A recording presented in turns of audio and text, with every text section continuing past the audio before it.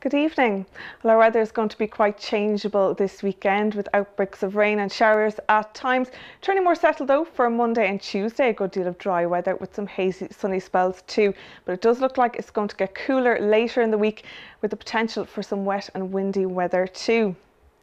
Now at the moment, clear spells have developed across most of Ireland. There is still some cloud lingering in parts of the east and northeast. That might bring a little patchy drizzle overnight tonight, but mostly dry with clear spells across the country.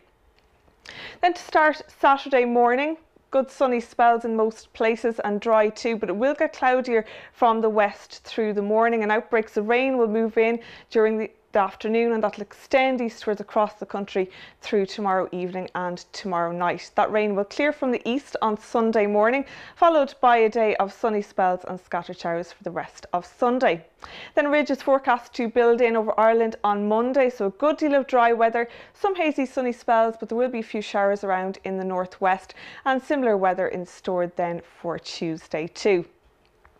So back to the present, so some cloud in the parts of the east and the northeast, but mostly dry with clear spells across the country. And it's going to stay mostly dry through the night as well. Maybe a little patchy drizzle along the east coast and some mist and fog will form in places as well.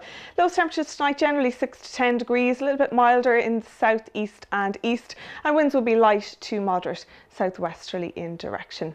So mostly dry start to Saturday morning with some sunny spells, a little bit of staying around in the southeast and the east. So, and it will get cloudier in the west as well through the morning with outbreaks of rain, then gradually moving across the country during the late afternoon and evening. Top temperatures tomorrow 14 to 18 degrees, generally light to moderate winds, although it will become windy along the west coast with fresh to strong southerly winds developing.